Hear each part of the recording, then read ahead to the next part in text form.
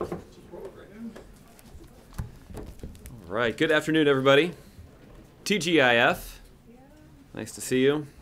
Do not have any uh, comments at the top, so we can go straight to your questions. Josh, would, you- would you like to start? Sure. Thanks, Josh. I'd like to start with uh, the White House's efforts to secure a vote in the Senate for uh, the president's Supreme Court nominee. Uh, after there had been some signs that some Republicans might be open to hearings, um, we have a new joint op-ed from Senators Grassley and McConnell that um, you know really are pushing back on that. So I guess my question to you would be the same one I asked you just a few days ago, which is, are you making headway here? Well, uh, Josh, let me start out by telling you that the president, in the last uh, 24 hours or so, basically since I last saw you, has begun uh, something that I alluded to yesterday, which is the president will consult a, a wide variety uh, of individuals with a wide variety of perspectives as he contemplates uh, his nominee to fill the vacancy on the Supreme Court. Um, that consultation uh, included, just in the last 24 hours, telephone calls with uh, Leader McConnell, uh, Leader Reid, uh, Chairman Grassley, uh, and Senator Leahy, who is the ranking member on the Senate Judiciary Committee. Obviously, the significance of the call with Senator Grassley is that he's the chairman of the Senate Judiciary Committee. Uh, and this, you know, again, this will be part of, uh, uh, of the president's process of making a decision about who the best person is to fill a vacancy on the Supreme Court. And, um, you know, it's interesting that you cite the op ed uh, because the op ed was written by two individuals who actually voted to confirm the last nominee to the Supreme Court who was put up for a confirmation vote during a presidential election year. So they know firsthand, based on their own voting record, that there is a clear precedent here. And in fact, what that Senate did is it was actually run by Democrats. Both Senator Grassley and Senator McConnell at the time were in the minority. But what you saw Senate Democrats do is act on the nominee that was put forward by the president in the other party. And they held that vote in a presidential election year. That was their constitutional responsibility.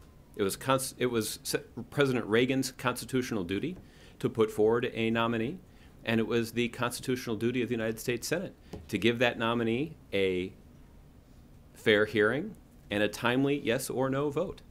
Uh, that's precisely what uh, the Senate did in 1988. Uh, Senators Grassley and McConnell had their own role in that, uh, and we would expect them to do the same thing this time. What more can you tell us about what transpired on those phone calls that you just mentioned? Uh, did- was the president able to get any sense from congressional leaders that um, if he were to nominate certain candidates of certain ideological flavor, that he might be able to get a vote to confirm them? Well, uh, Josh, I do want to uh, give the president the ability to have uh, uh, to consult privately, uh, even if we uh, describe to you uh, what that pro- consultation process looks like. Uh, I can tell you that you know in those those telephone calls that you know they were entirely um, uh, professional, and that there was an opportunity for the president to make clear that he is going to nominate someone. The president made clear that he is committed to consulting with Congress uh, as he decides who that nominee should be. And the president made clear that he's doing so, doing all of this, because he believes he has a constitutional duty to do so. Uh, and he reiterated his firm belief that the Senate has a constitutional uh, obligation here as well. Uh, I wanted to ask you also about the uh, U.S. airstrikes overnight in uh, Libya. Uh, was this uh, kind of a one-off going after a high-level target similar to what we saw uh, in Libya late last year, um, or should we be looking at this as the start of a stepped-up military effort in Libya? Uh, Josh, let's do the details first. Uh, I can confirm for you uh, that uh, early this morning, uh, the United States military conducted an airstrike in Libya, targeting both an ISIL training camp near Sabratha and a specific leading ISIL figure uh, named Nuruddin Shushan. This individual is a known ISIL leader, a facilitator, and uh, an individual who has facilitated the flow of foreign terrorist fighters across North Africa. Uh, this individual is also wanted because of the role that he played uh, in carrying out the terrorist, uh, uh a terrorist attack uh, almost a year ago, in March of 2015, in Tunis, killing a number of tourists at the Bardo Museum in Tunis. Um, we, at this point, cannot confirm the results of the operation, but I do think it is legitimate for you to uh, connect this operation with the operation that U.S. military forces carried out back in November. Um, back in November, U.S. military forces carried out a strike against the leading ISIL figure uh, in Libya, Abu Nabil. Uh, we have concluded that that strike was successful, uh, and uh, both of these military strikes are an indication uh, that the president will make good on his promise to continue to apply pressure to ISIL leaders who threaten the United States and our interests. Uh, and this does demonstrate uh, the important capabilities that the United States has, including in Libya. Uh, and it's an indication that the president will not hesitate to take these kinds of forceful, decisive actions to ensure the safety and security of the American people. Uh, and obviously, uh, today is uh, one additional occasion for us uh, to uh, pay tribute to the courage, service, professionalism, and expertise of the men and women who serve in the United States military. Here we have a tangible example of how uh, their service to the country uh, makes all of us safer. And lastly, Senator Sanders, in a BET interview that's going to be airing, suggested that the reason that Hillary Clinton is wrapping herself in the Obama legacy so much uh, is because she's going after African American voters in particular. Um, the Clinton campaign has taken some issue with that. Does the president consider that to be uh, an appropriate assessment of what Clinton is doing? Well, I guess for an, a good assessment of the Clinton campaign strategy, you should check with the Clinton campaign, and it sounds like you might have done that already. I, I think there are a couple of uh, facts that I would point out. Uh, the first is you know, Senator Sanders uh, stood not too far away from stood not too far away from where I'm standing. You can just peek out the window and sort of see the spot where he was standing, where he uh, spoke to all of you after having spent an hour with the President of the United States in the Oval Office, where he talked to all of you about how proud he was of the progress our country has made under President Obama's leadership. Um, and I think that's a pretty strong uh, statement about how supportive uh, and proud Senator Sanders is of uh, President Obama's legacy. And that certainly is consistent with the kinds of comments that we've heard from Secretary Clinton. Uh, both candidates were making those kinds of statements in advance of the Iowa caucuses. Uh, and based on even my own personal experience there, I know the proportion of African American voters in the Iowa caucuses is uh, not particularly high. So I, I suspect that um, um, those kinds of comments uh, from both candidates is an indication that A, that they um, share President Obama's priorities and values when it comes to the direction of the country. Uh, both of them have played their unique role uh, in supporting the president uh, in advancing those values and priorities. Obviously, Senator Sanders, and uh, uh, on a range of legislative priorities, has been supportive of the president's legislative agenda in an important way. And obviously, Secretary Clinton had a role as the Secretary of State in the Obama administration to advance the president's foreign policy vision around the world. So, uh, you know, both of them have their own unique perspective here, but uh, I think both of them are making this case about the progress that we've made over the last seven years under President Obama's leadership, both to illustrate where it is they stand on the issues, but also to uh, make a case to voters, especially Democratic voters, that they're prepared to build on the progress that we've made so far. Thanks. Okay. Roberta. Um, the op-ed that was written by Leader McConnell and Senator Grassley mm-hmm. ran around 8 p.m. last night. And I'm wondering if you can say whether the president spoke to them after, whether they talked about the issues that the two senators had brought up in their op-ed? Uh, I can tell you that uh, President Obama had the opportunity to connect with uh, Leader McConnell uh, earlier in the day yesterday than 8 o'clock. uh, and he spoke to uh, Senator Grassley just this morning. They tried to connect yesterday, but were able to connect today.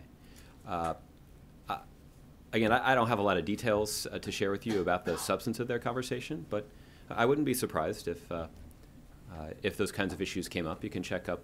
You can check with uh, the two senators' office to confirm what they raised. And yesterday, uh, Vice President Biden um, did an interview with Rachel Maddow, and he described how uh, President Reagan had called him into the Oval Office and, and went through a list of candidates that he was considering. And um, then Senator Biden gave his opinions on which ones he thought were possible for the Senate to confirm. And um, uh, Senator, um, Vice President said that he thought President Obama should do that with Senator Grassley, sit down with him and go through a list. I'm wondering if you can say whether that's something that the President would be interested or, or open to doing or committed to doing. Well, I um, I think I would say generally that what's notable about the difference in the two situations that uh, the vice president described is that Vice President Biden, then chairman of the Judiciary Committee, Joe Biden, didn't automatically object to the president's commitment to appointing somebody to fill a vacancy on the Supreme Court. So it would be a little odd at this stage, at least, to have an in depth conversation about which nominees could be confirmed in the Senate with a senator who is suggesting that they won't consider any nominee. So it, it's difficult to determine exactly what that conversation would be like. But I think, as evidenced by the president's telephone call, the president's committed to trying to find some common ground uh, with Republicans and to continue to make our case about the, const- about the constitutional obligation uh, that the president has and the duty that he's prepared to fulfill. So if Senator Grassley showed an openness to having, possibly having a hearing, then the president might talk to him a little bit more about the candidates he might have in mind. Well, I, again, I think what I'm saying is even though Senator Grassley has indicated that he won't support anybody that the president puts forward, the president takes seriously the obligation that he has to uh, consult with the United States Senate. Uh, I will. Uh, I, I also want to assure you that the president's consultations, as he considers this decision, will not just be limited to sitting members of the United States Senate. Uh, and as the president uh, has more of those meetings and conversations, uh, we'll do our best to let you know about those as well. Uh, but certainly, starting with the two leaders of the Senate and the two leaders of the Judiciary Committee, uh, is an appropriate way to begin the conversation about uh, both the president and the United States Senate fulfilling their constitutional duties. But it's fair to say that in his conversations, he didn't run through any names that he was considering. I'm not going to get into the details of, uh, of their conversations. I wouldn't rule out uh, a discussion about particular nominees. Um, but I just would say that uh, the president is serious about robust consultation with Democrats and Republicans uh, in the United States Senate.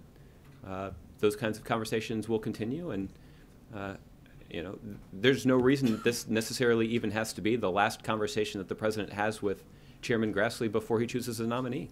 I suspect it won't be. Um, but I do suspect that as long as the chairman of the Judiciary Committee says that he won't consider anybody that the president puts forward, that that will at least limit the productiveness of those conversations. Okay? Bill? So you indicated, I think, that normally it's been about a month. And I'm wondering if you received any indication from the president about the length of time he might want to take before he puts forth a nominee in this case. Uh, Bill, I, I have observed that both uh, uh, in filling the vacancies that were left by the retirements of Justices Souter and Stevens, that the president appointed uh, uh, or nominated a replacement um, within four or five weeks. Um, I don't have a different timeline to lay out, uh, but I think that gives you an indication of the amount of time that is required uh, to conduct a detailed search and to do the, the vetting that is necessary to determine who the best person for the job is. Has the president mentioned any kind of timetable to you? Uh, not one that I'm prepared to share here publicly. Oh, come on. but we'll try to keep you apprised of the process as it moves forward. I mean, I guess another thing that I can tell you is that the president's team over the course of this week uh, has spent uh, a lot of time preparing materials for the president's review. And I would expect uh, over the weekend that the president will begin to dig in to the materials that have been prepared for him by his team. Uh, these are materials related to some potential uh, nominees. This would include information about these individuals' uh, record, about their professional career and their professional experience, uh, all of which they would bring to um, a lifetime appointment to the Supreme Court. And um, there are, uh, as you know, a large number of lawyers who work at the White House, and they've uh, produced a significant quantity of information. Uh, and I suspect the president will be dedicating a significant portion of his weekend uh, digging into that information. Okay? Ron. Just to follow up on that, um, at, the end of his conversations with Senator Grassley, is it still your feeling that they are not going to look at anyone, that, they- that they, they will not consider a nominee? Or did he back away from that position in his discussion with the president? Well, I'll, I'll let uh, Senator Grassley characterize uh, his position and characterize what he represented to the President of the United States. Um, the President was clear about representing his view that the President has a constitutional duty to nominate a successor whenever there's a vacancy on the Supreme Court, and the Senate has a solemn constitutional duty to give that person a uh, fair hearing and a timely yes or no vote. Beyond the, the, the uh, excuse me, beyond the constitutional argument, and when the president talked about this the other day, he said something about how it's because it's the Supreme Court, this is the time when we should rise above partisanship. We being, of course, the Senate. Um, does the president think that he has some political leverage here as well, in terms of? Would you be go so far as to say that if the if the Republicans don't fulfill their responsibility as he sees it, that there would be some political consequence out there in the country? Yeah. Well, I think it's hard. It's too hard at this point to assess exactly what sort of what the political consequences are, knowing the day and age in which we live, and the fact that it is, in fact, a presidential election year. I'm confident that there will be a robust political debate uh, around this process, and I'm not suggesting that that somehow is illegitimate. What I am suggesting, however, is that the constitutional duties of the President and of the United States Senate should come before any sort of political considerations. That certainly will be the President's approach to this, and hopefully that will be the approach the Senate takes as well. polls notwithstanding, at this point, is the, is, is, is the president's sense of the nation that, that he thinks that, that the public supports him in this? Therefore, particularly in these places where there are close races in purple s- states, that there could be consequences for those, uh, senators who don't play ball? Well, look, I uh, that's hard to assess. You guys all have uh, uh, polling units that you dedicate significant resources to, and I suspect you'll be uh, evaluating this question. Um, uh, you know, it's. I'm, I'm not suggesting that those polls are somehow irrelevant, but um, I think it's too soon to tell exactly sort of how the argument is resonating. I think what has been interesting to me is that we've seen a number of uh, unlikely figures uh, indicate that they share the president's view about the constitutional uh, responsibilities that are before both this president and the United States Senate. We saw the comments of former Supreme Court Justice Sandra Day O'Connor uh, indicate that she believed that the Senate should get on with it. Um, that was a pretty, uh, that was her unvarnished assessment, uh, and it certainly is consistent with the sentiment that we have expressed about the president's constitutional responsibility. Uh, I would note that the that the that the individual who served as the attorney general under President George W. Bush uh, indicated his view that quote there's just no question in my mind that as president of the United States you have an obligation to fill a vacancy. Uh, that's a that's a, you know, precisely the case that we have made as well. So I guess what I would say is that it's too soon to tell whether or not the argument that we're making is resonating, uh, you know, is resonating uh, with the electorate. Uh, but it does seem to me that the argument that we're making is at least consistent with some Republicans who know quite a bit about the law. I'm surprised that you would say that. You, you, have some doubts about whether it's, you- you didn't use the word doubts, Yeah. but it's too soon. I mean, I, isn't this a obvious argument that the public should certainly rally around? Or, or why, why is there some doubt, doubt in your, and perhaps it's a strong word, but why, why are you stopping short of, of being so certain that in fact, Well, I, I guess because I don't want to be in a position where I, um, you know, make a make a claim that I can't uh, uh, back up. Don't be wrong. Well, I I don't think it's that I want to be wrong. I, I will actually say this: I don't have doubt uh, about the fact that I think most people uh, who take a look at this situation, I think, draw on maybe not legal expertise, but common sense in concluding that when there's a vacancy on the Supreme Court, that the president has a responsibility to nominate a uh, nominate someone to fill it, and the Senate has a responsibility to uh, give that person a, a fair hearing and a timely yes or no vote. Look, the other, I think the other thing that is uh, relevant here is, uh, is the precedent, and I'm not just referring to uh, Justice Kennedy's uh, confirmation vote that occurred in 1988, a presidential election year. Um, I, think that is relevant, but what's also relevant is the way that uh, Supreme Court vacancies have been handled in the past.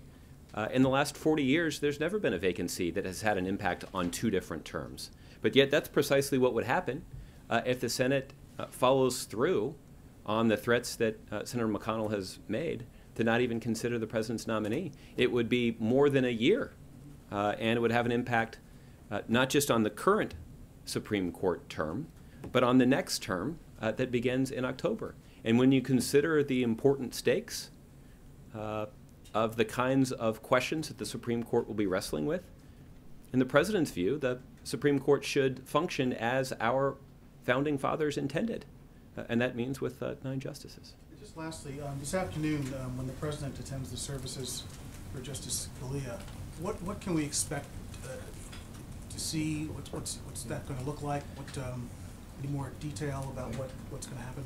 Well, I, I've seen a little bit of the television coverage that uh, uh, of the events that have already taken place uh, at the Supreme Court today. It's a it's a solemn event, and the country is marking the passing of a uh, of an influential figure in American life and in American uh, jurisprudence, and uh, you know over the course of the day, uh, thousands of Americans uh, will have an opportunity to pay their respects to Justice Scalia as he uh, lies in repose in the Great Hall of the Supreme Court. And the President and First Lady will be just among uh, the thousands of people doing the same thing. And uh, the President doesn't plan to make any remarks or anything. Uh, obviously, he will just be there to, um, you know, offer up his own condolences to the family and to all of those who love Justice Scalia. You know, Justice Scalia had a large family, he had nine, nine children and a couple dozen grandchildren at least. And uh, they're obviously mourning his death in a very personal way. Uh, so this is an opportunity for the president to both pay his personal respects to those who love Justice Scalia, but also pay tribute to the outsized impact uh, that he had on our country and on our legal system. Uh, the president believes that is worthy uh, of respect, and that's why both the president and first lady uh, will be traveling to the Supreme Court this afternoon. Okay, Kevin. Thanks, Josh. Did the president give word of Harper Lee's passing, and does he have any reaction to the passing of uh, a literary giant, winner of the Pulitzer Prize, and uh, To Kill a Mockingbird. Yeah, I, uh, I, I did not ask the president about this uh, uh, today, so I don't know if um, uh, if he was aware. but obviously, you know, his um, you know, the president has talked publicly before about how much respect he had for Harper Lee, and you know, obviously she was a giant of American literature, and um, you know, wrote you know, wrote To Kill a Mockingbird, a, a, book that I think all of us can remember having read in school. And, um, uh, you know, obviously the, uh, uh, she, she had her own significant impact uh, on our country and our culture and, uh, and, our, and in our uh, country's perspective on some pretty sensitive topics. but she had a way of, of, of telling stories that does have an influence and resonates with uh, the worldview of so many Americans, uh, even so many decades after that book was initially published. If I could ask you about the High Court, and I know that the process is, is still ongoing. Yeah. Is there any doubt in your mind that the President would also consider the Attorney General? And if so, what sort of complications would that pose were he to nominate her? Uh, Kevin, at this point, I, I don't want to comment on any uh, sort of speculation about who the president may appoint. Uh, but uh, let me do try to provide some insight that could be helpful to you. Uh, the last time there was a vacancy on the Supreme Court was after Justice Stevens announced his intent to retire. and the president selected uh, Elena Kagan uh, to be his nominee to fill that vacancy. She was confirmed by the Senate uh, with bipartisan support. But uh, Justice Kagan at the time had uh, an important role in America's legal system. She was a Solicitor General, so she was representing the United States government uh, before the Supreme Court on a, on a regular basis. And um, I guess the, the point that I'm making is that um, she was able to have her uh, deputy step up and fulfill some important functions as she was going through the process. Uh, what's also true is there were a handful of cases that she did have to recuse herself from uh, because of her previous involvement with them as Solicitor General. Uh, so um, I guess the point is uh, it matters uh, if a nominee is someone who is already playing a role, an influential role in the justice system.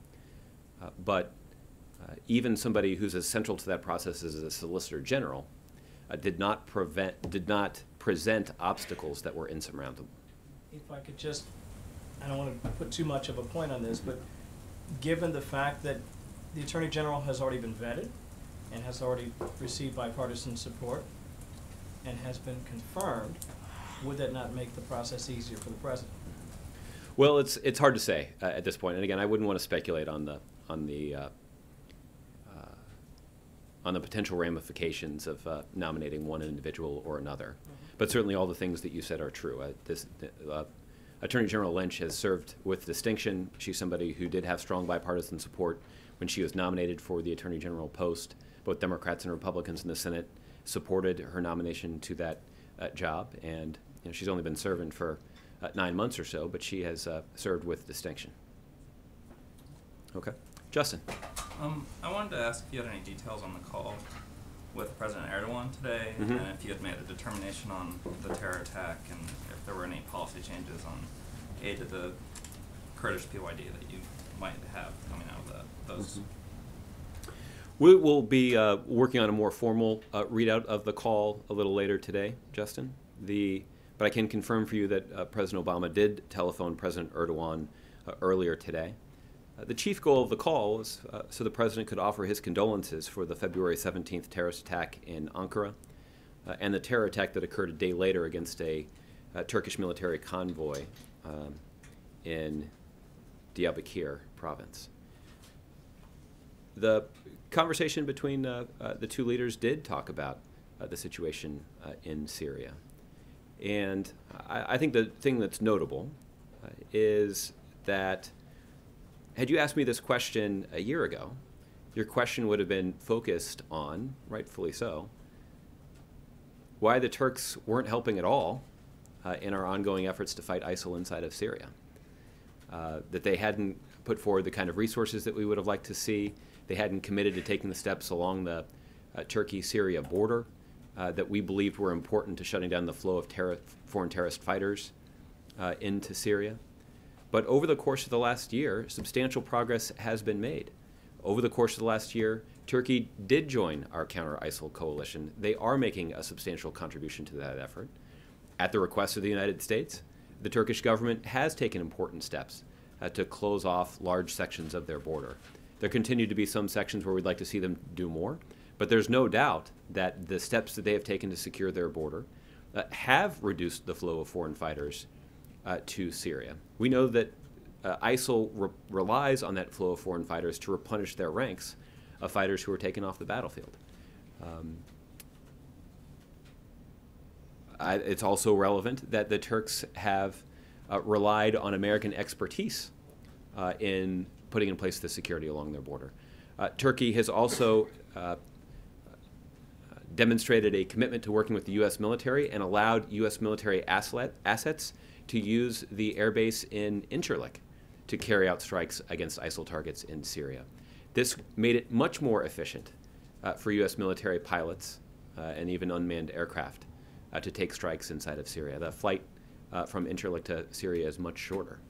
Uh, and that was a big benefit uh, and a, an important way that Turkey can help in this fight. And that is a step that they have taken just in the last few months. The other thing that has long been true uh, is that Turkey is bearing a significant burden when it comes to providing for uh, Syrian refugees who are fleeing violence in their own country. Uh, and they have been extraordinarily generous uh, and focused on meeting the humanitarian needs of these migrants. The United States has also provided significant uh, humanitarian support, more than any other country, to all of the countries in the region, including Turkey, that are uh, providing this important assistance.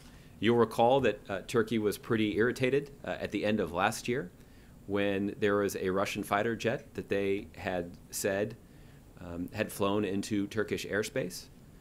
Uh, and you know, tensions between Turkey and Russia spiked.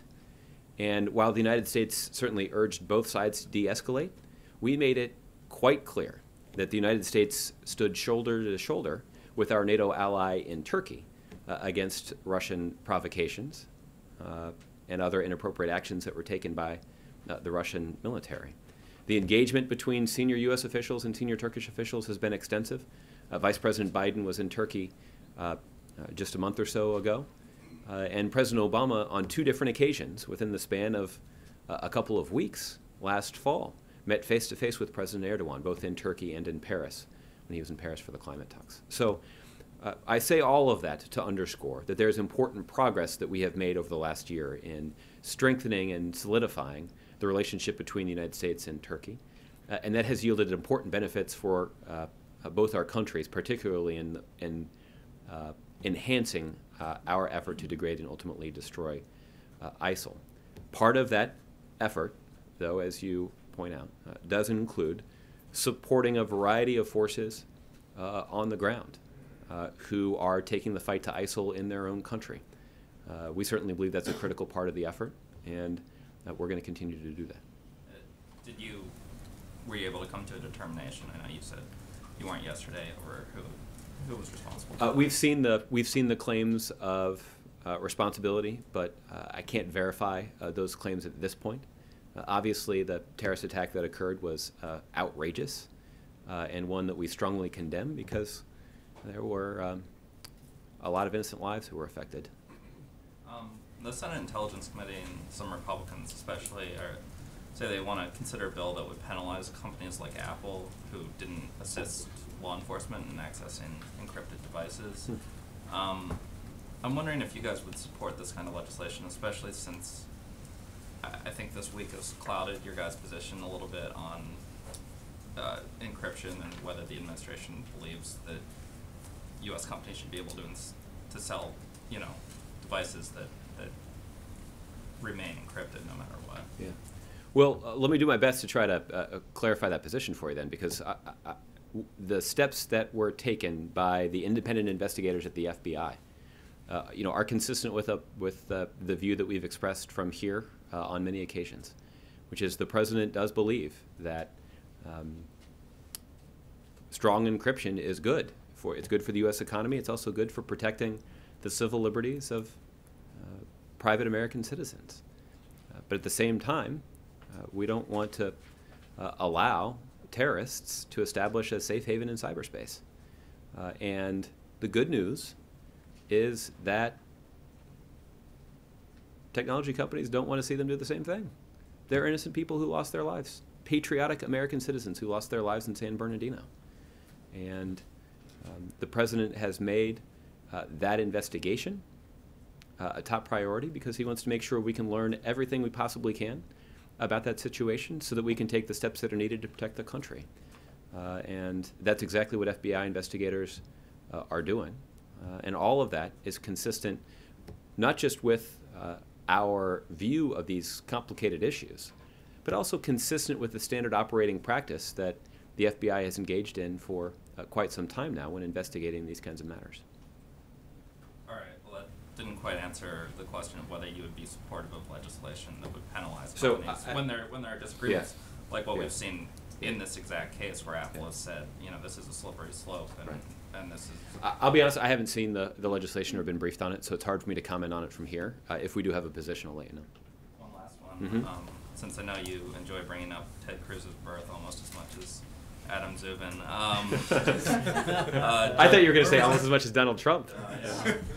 um, He a does, it, he does it far more often than I do.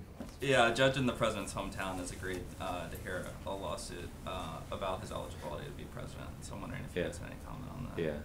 Well, it's funny you should ask. I was actually up uh, really late last night preparing my amicus brief in that case. so, I don't know if that makes me eligible for a Supreme Court appointment or not, but uh, but uh, but look, uh, you know, obviously this is, uh, something that will work its way through the court system.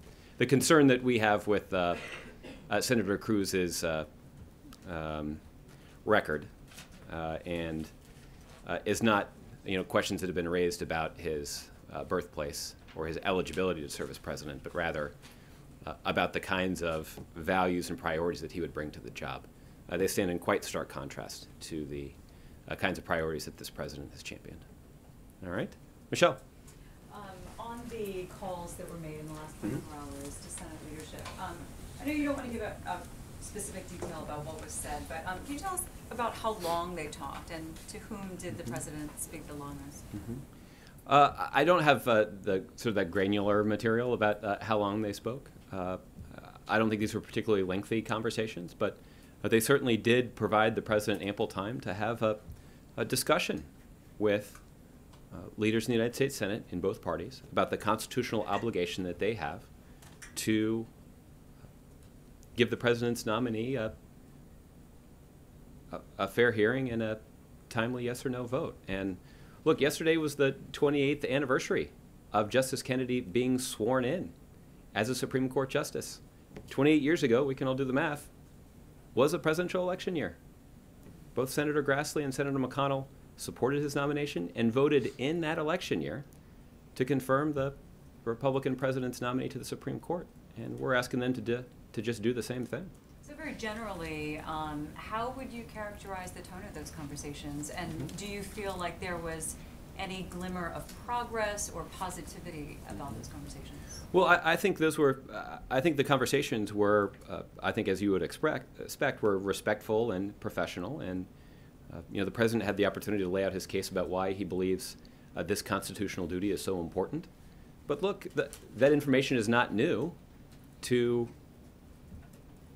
well, four different individuals who spent a lot of time playing the, fulfilling the Senate's constitutional duty to offer advice and consent on the president's uh, Supreme Court nominees. So that information isn't necessarily new to them, uh, but it is an opportunity for the president to begin a dialogue uh, about how this process should work, about how the president uh, intends to approach it, and the the president's approach will be characterized by frequent uh, consultation, not just with uh, Democrats and Republicans in the Senate, uh, but a variety of voices and individuals that have a, a perspective on a nomination that is this important. You mentioned all the materials that the president will be looking at this Mhm. weekend. So does that mean that the short list is complete? Is this everybody that he's considering at this point? Uh, thank you for asking that question. It is not. Uh, the president does not have a short list, and the list has not been completed. Uh, this actually is the very beginning of the process, and um, but this is an opportunity for the president to dig into the materials that his team has prepared for him. Uh, this includes biographical information, uh, information about the public record uh, of individuals who may be worthy of consideration. Um, so I, I, again, as I sort of jokingly uh, acknowledged earlier, a substantial amount of information has been prepared, and I, I would expect that the president will spend uh, a significant portion of his weekend digging into those materials. So how many people are we talking about in this group then? Are we talking about five, ten, two? Uh, I, I- I don't have a, uh, a a number to share with you. It certainly is more than two. This is not the this is not a short list. Uh, this is the beginning of a process to evaluate uh, a number of individuals uh, for uh, consideration for a nomination. So it would be safe to say that, that the material that he has concerns several individuals? Would that be accurate? Um, I, I, I, uh, the the number is greater than two. Okay. I guess that I guess that means several. Okay, and given, given the climate now that uh, is obvious and the kinds of conversations that the president has started having and all the debate that's going on ahead of time, is it safe to say that at this point, we could rule out that he presents a nominee that could be seen as liberal or that's likely to be seen as liberal? Well, I um, at this point I'm not going to speculate about how the president's nominee will be judged. Our expectation is that the president's nominee, when uh, the president puts that individual forward, that that nominee should be evaluated on the merits, that that individual's qualifications and experiences uh, should be evaluated both by the American people but also by the 100 members of the United States Senate that have taken an oath to fulfill their constitutional duty uh, to do their jobs. Uh, and um, that's what we expect that they will do, and we expect that that would entail uh, both a, a, a fair hearing and a timely up or down vote. So you wouldn't say at this point that this nominee needs to be a moderate? I would, I, I think I would rely on the, the president's description, where he said that this uh, individual, this nominee that he chooses, would be somebody whose qualifications were uh, indisputable. Thanks, Okay, all right. Juliet? Just to follow up on that, Mhm. Vice President Biden in a few different interviews yesterday specifically said that the president should be looking for, uh, in his words, consensus candidate, someone who would be distinct from, say, former Justice Brennan, because he needs to win Republican votes. So the way the vice president framed it, there was an allusion to maybe not the specific liberal moderate, but this idea that it has to be someone of a political bent that it would win significant Republican support. Yeah. Is that, would you describe that as an accurate description of the president's mindset, and could you elaborate on that? Well, uh, there are a number of things that come to mind. The, the first is that the president has already put forward two Supreme Court nominees who were confirmed in bipartisan fashion by the United States Senate. Uh, both Justice Sotomayor and Justice Kagan got important support from Republicans. Now, at the time, that support was less uh, critical uh, because Democrats were in the majority in the United States Senate. Uh, the same, uh, the situation is different now, and um, I guess my point is this: even when the president didn't have to necessarily put forward someone who deserved bipartisan support, that's exactly what he did. In this case, since Republicans are in the majority, we know that they that the president's nominee will need bipartisan support, and that's what we expect uh, that they will deserve. And here's why. And I think this is the second thing that I think is important. The criteria that senators use when evaluating presidential nominees to the court uh, is not evaluating whether or not they would have picked this person. The responsibility is to evaluate whether or not this is an individual who can serve the country with honor and distinction in a lifetime appointment to the Supreme Court. That is a substantial responsibility that the president is suggesting that this individual should assume. And the Senate should evaluate whether or not that person, based on their qualifications, their temperament, their experience, their professionalism, whether or not they can handle it. And that's the question that's being asked of them. There are 100 different members of the United States Senate. And some of them know a whole lot about the Supreme Court and have spent decades working on these issues. Some of them are new. Even those in the same party, I'm confident that if you just did a poll, an open ended questionnaire of the members of the Senate who they believe should be uh, nominated to fill the vacancy, I wouldn't be surprised if you got 100 different people uh, in response. That's why the question facing the Senate is different. It's the president's constitutional responsibility to name uh, a nominee, and it's the Senate's responsibility to evaluate that nominee, not based on the criteria of whether or not that's the person they would have chose, but based on the criteria of whether or not that individual can serve the country with honor and distinction on the Supreme Court for the rest of their lives. And uh, that's the that's the way that the the the process uh, has been laid out. That's the way the process has moved forward in the past. It certainly is consistent with what our founding fathers intended. Uh, and um, most importantly, that is a process that uh, both the President and the United States Senate have a constitutional duty to fulfill. Jordan. Thanks, Josh. I have a question about Zika funding. Okay. Uh, the chairman of the Appropriations Committee, Hal Rogers, Mhm. wrote a letter to the White House saying, basically turning down your request for emergency funding, saying that Congress should use uh, funding for Ebola to fight and redirect that toward fighting Zika. I know this is this is an approach that you've rejected in the past, but Yes. given opposition coming from Republicans now, are you willing to reconsider that at all? Yeah. Well, Jordan, I, I think I would start out by saying that the important work that the United States has done to fight Ebola and to protect the American people from Ebola uh, is not done. I recognize that the uh, that, that that disease has receded from the headlines. I think we're all pleased about that. But the important work that needs to be done to build up the public health infrastructure of countries overseas to make sure that uh, those outbreaks don't quickly spiral out of control. We've seen firsthand, as recently as a little over a year ago, how that can have direct consequences on the safety and well being of the American people even if that outbreak occurs an ocean away. So it's critically important that we follow through uh, on those efforts.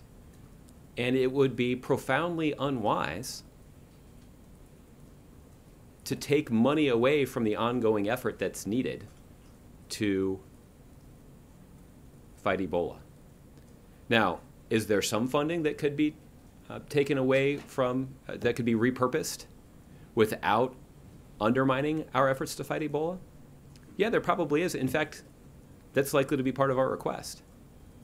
But those funds, those resources, would not be sufficient to take on what we believe is a pretty serious threat from the Zika virus.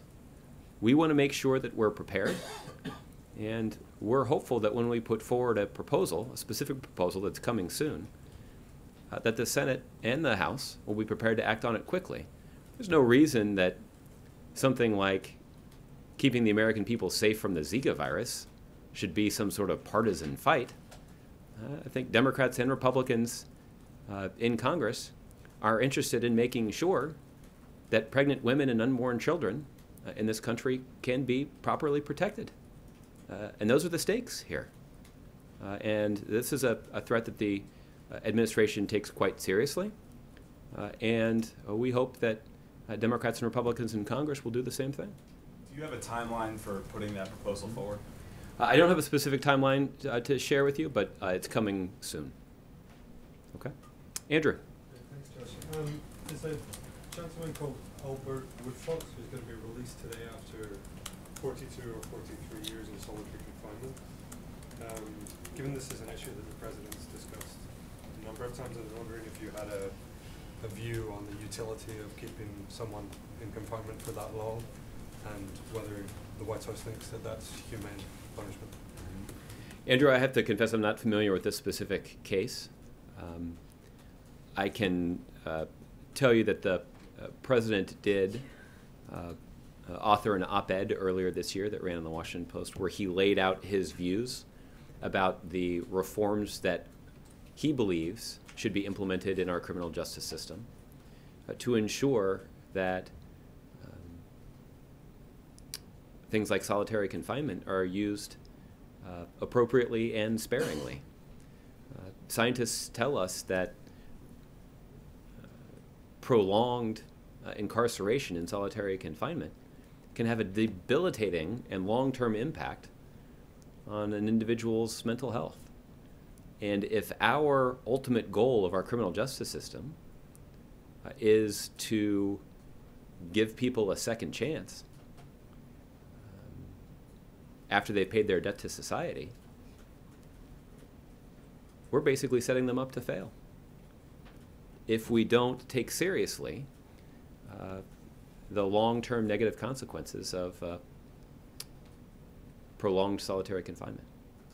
If I remember rightly, he was the president took action on um, solitary confinement with regards to juveniles and people with mental illness. Mm-hmm. Um, did he not act on the broader issue because he thinks it's beyond the scope of his executive power, or is it coming further down the road in any justice reform? Well, what is true is that the kinds of uh, reforms that the president put forward are the kinds of reforms that could only be implemented in the federal prison system.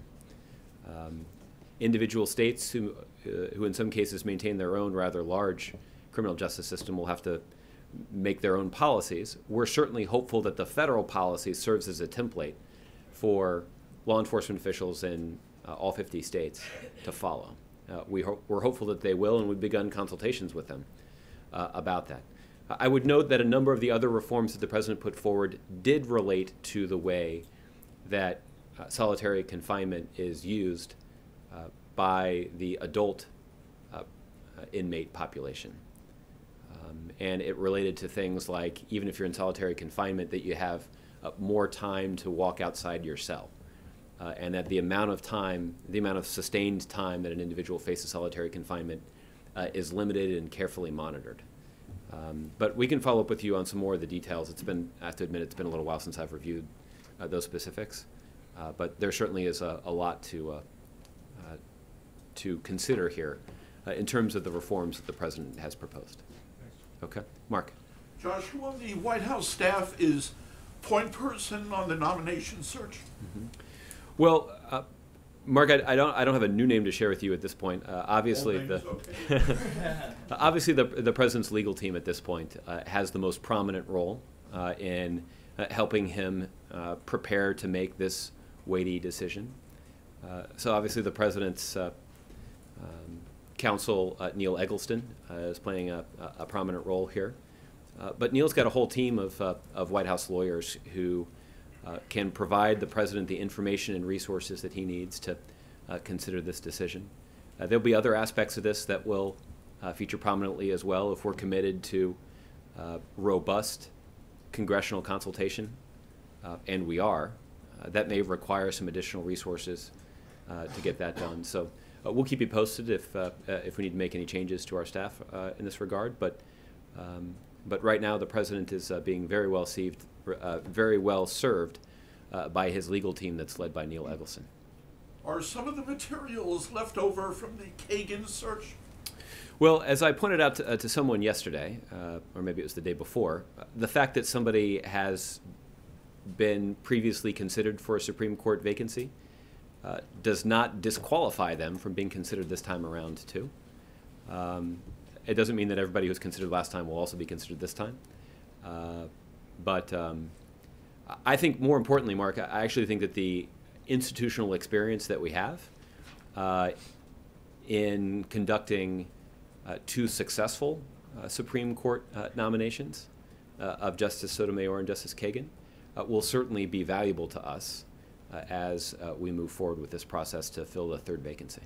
Do you know whether during the interim since the Kagan nomination, those records have been updated?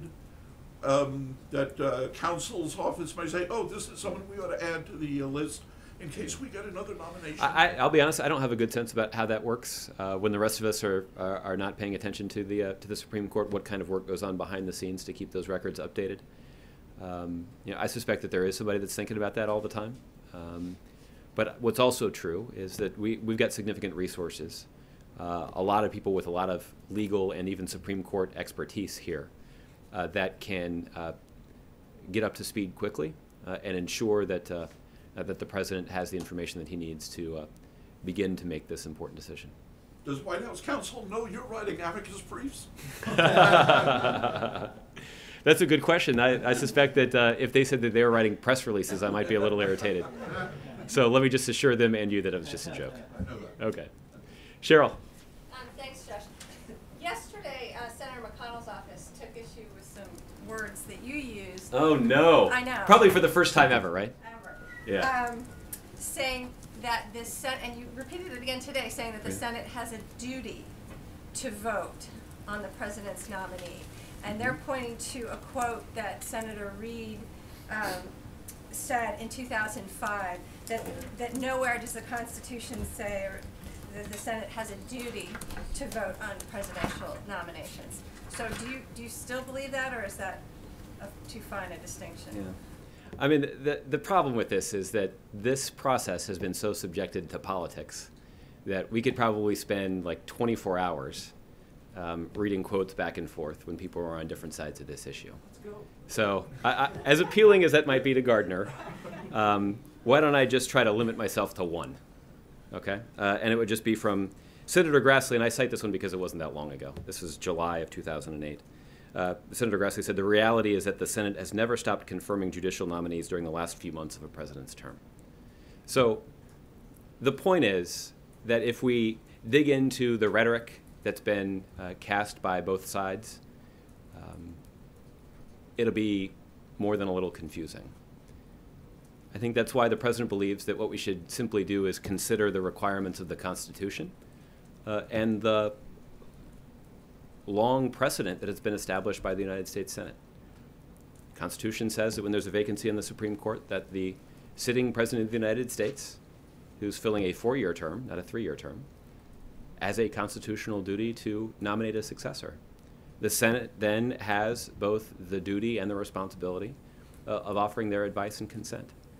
Uh, and at least for everybody who's sitting on the Supreme Court right now, that meant a timely up or down vote uh, and a fair hearing. Uh, I, I guess the other relevant uh, piece of precedent here that I think is uh, notable is that since 1875, every single Supreme Court nominee that was put forward by uh, the President of the United States has gotten a hearing. So now there are some exceptions to that where you had presidents put forward a nominee and then withdraw them before the hearing began. But every time the president was calling on the Senate to hold a hearing on the Supreme Court nominee, every time since 1875, the Senate has fulfilled their constitutional duty. Uh, and we expect the, the Senate here in uh, 2016 to do the same thing. All right? Gardiner. Uh, Josh, the Syrian ceasefire didn't happen, and is there a danger that the failure of diplomacy sort of across the Middle East will undermine any military gains the U.S. is able to secure against ISIS in Libya and Syria? Well, uh, Gardiner, I think you're alluding to a principle that we have applied to this situation from the beginning, uh, which is simply that the situation inside of Syria doesn't have a military solution. There's no military solution that can be applied in Syria to solve all the problems plaguing that country. What we can do, using the expertise, courage, and might of the United States military uh, and our 65 counter ISIL coalition partners, is use our military to put enormous pressure on ISIL's leadership. We can use our military to begin to roll back territorial gains that ISIL had made.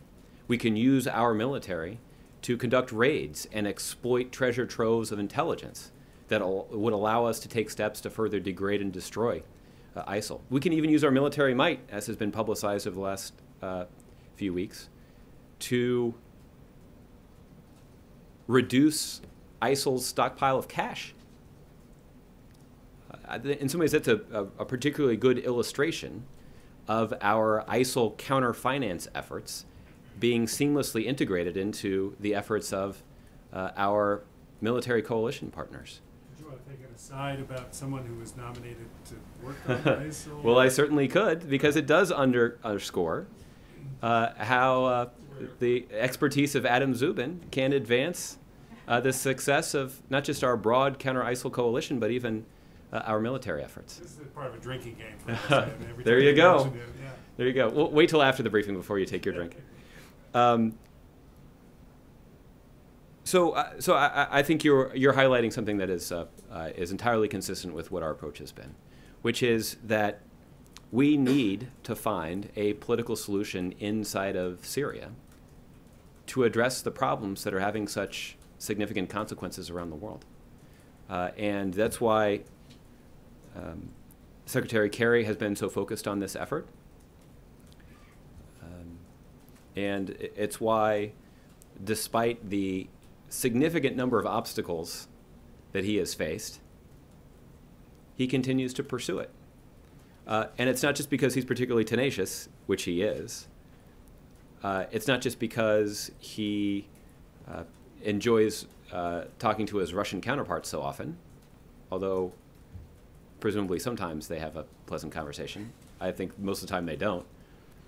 But he's doing this because he understands that this is fundamental to ending the violence in Syria and addressing the wide array of problems that have been caused by the political dysfunction inside of Syria that actually do have grave consequences for American national security. Josh, you recently obviously had uh, a military operation in Libya, a bombing operation that, that seemed to be successful. Can you talk a little bit about this balance between diplomacy and, and military operations, not just in Syria, but also in Libya? Right. Because it does seem that your diplomatic options in Libya are even more limited than your ones in Syria. Mhm. Well, this is a this is a good example. Um, let me just take this one back one step farther because it's pretty clear what ISIL's strategy is. They look for countries where they can exploit political chaos to establish a foothold. That's what they did inside of Syria, where they started. President Assad began losing his grip on power. He began using the military might of the Syrian nation to attack the citizens of Syria. It caused great turmoil, uh, and he lost control of the country. And ISIL capitalized that, set up a toehold uh, inside of Syria. They then spread into Iraq, and we had seen a central government in Iraq that had governed that country along sectarian lines for too long uh, and exposed an alarming weakness in the Iraqi security forces. Uh, and ISIL uh, moved in to set up shop there. Now, there's been a change in the central government inside of Iraq. There is a new prime minister uh, who has been uh, working to unite that country and to govern in a way that reflects Iraq's diversity. And that's why uh, that certainly has contributed to the success that Iraq has had uh, in taking back significant uh, territory uh, that ISIL had uh, previously taken.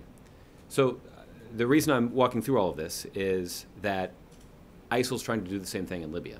Libya is another nation that is plagued by political turmoil. And they're trying to capitalize on that turmoil and chaos to establish a, a foothold uh, inside of Libya. So, the kind of approach the United States has taken to both advancing the uh, diplomatic and political track uh, alongside our military efforts, we're doing the same thing in, inside of Libya. The good news is that in Libya, they actually are making some uh, long sought progress. Uh, that there is a, uh, uh, that many political leaders inside of Libya are finalizing the government of national accord, uh, which is uh, an essential step toward providing the Libyan people the opportunity to rebuild their country. And the UN has facilitated that process. The United States has been strongly supportive of it. There's a, a, U.S. envoy that has been dedicated to uh, trying to advance that process, and we certainly have been pleased with the steps that they've taken thus far.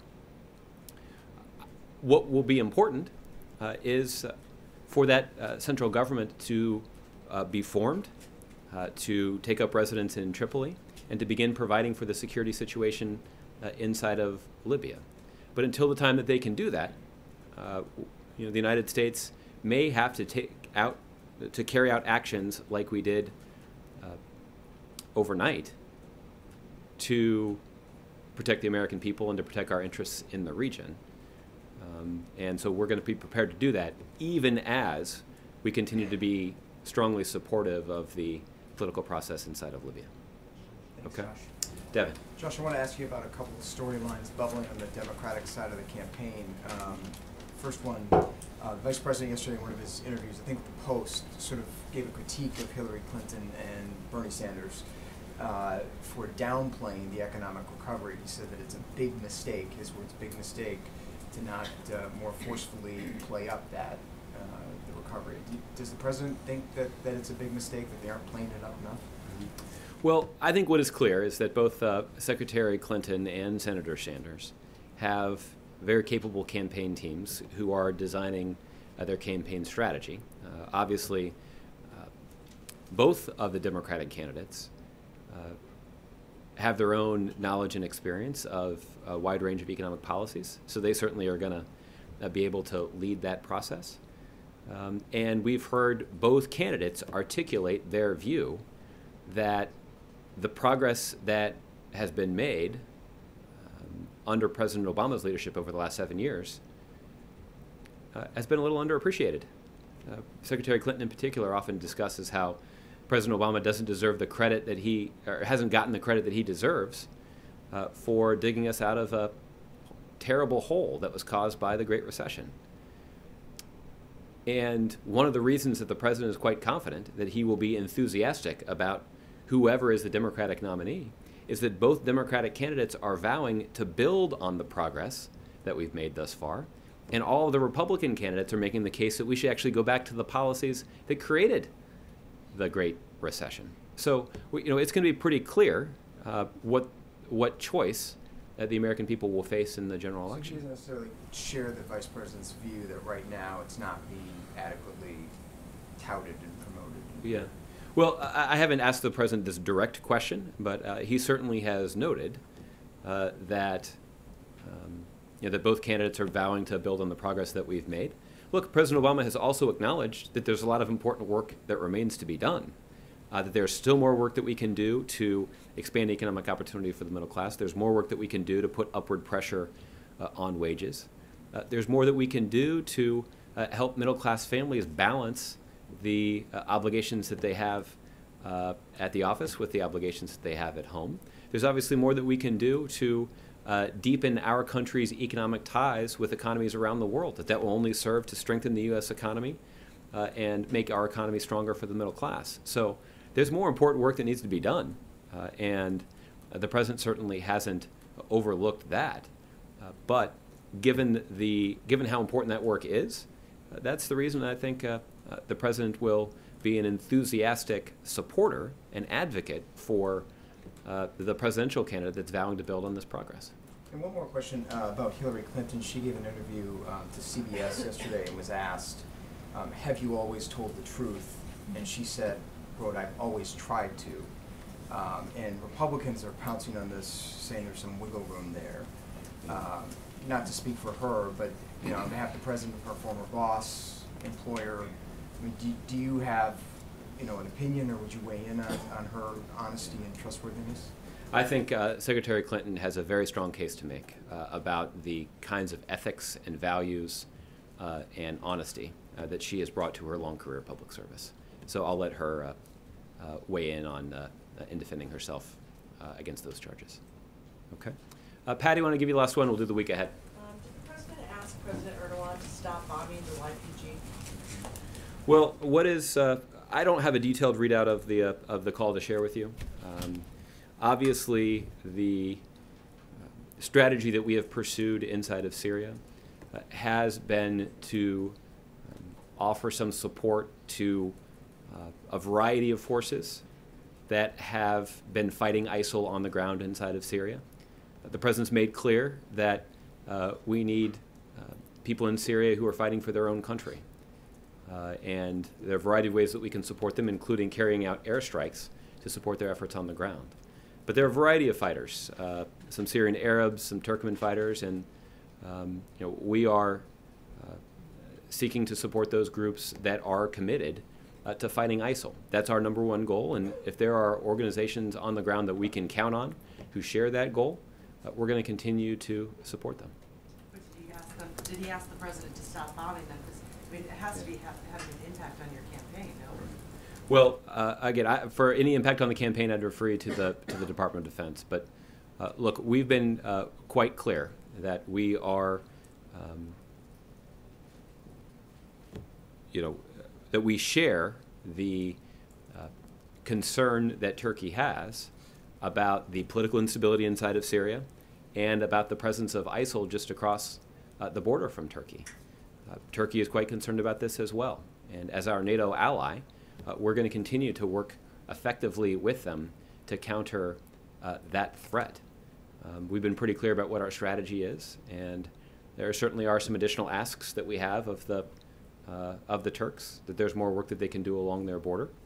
Uh, but we certainly have been appreciative of the kinds of steps that the Turks have taken to facilitate uh, an enhancement of our efforts against ISIL inside of Syria, including you know, access to the base at uh, Incirlik and uh, more effectively closing other parts of the border that have shut down the flow of foreign fighters and you know, also providing for the basic humanitarian needs of millions of Syrians who are fleeing violence. Okay. Let's uh, do the week ahead, and then uh, you guys can get started on your weekend. On Monday, uh, the president will deliver remarks and take questions from the National Governors Association uh, here at the White House. Um, on Tuesday, the president will attend a DNC roundtable here in Washington, D.C. Uh, on Wednesday, the President will host His Majesty King Abdullah II of Jordan at the White House. Uh, the United States greatly values its enduring and strategic partnership uh, with Jordan, uh, as well as our shared initiatives on a broad range of diplomatic and security challenges. Uh, during their meeting, the President and, and King Abdullah will discuss efforts to counter ISIL, resolve the Syrian conflict, address the needs of Syrian and Iraqi refugees in Jordan, uh, and discuss how the United States can continue to support the kingdom's generosity in hosting those refugees. Uh, the two leaders will also discuss uh, how Jordan uh, continues its political and economic reform initiatives. Uh, finally, they'll also discuss how best to advance prospects for a two state solution to the Israeli Palestinian conflict and other areas of mutual interest. Uh, that'll be on Wednesday. Wednesday evening, the President and First Lady will invite top contemporary artists to the White House as part of its In Performance at the White House series. Uh, the event will celebrate the iconic singer, songwriter, composer, and musician Ray Charles. On Thursday, the President will deliver remarks at an event on precision medicine that we'll be hosting here at the White House. Uh, and then on Friday, next Friday, the President will attend meetings at the White House.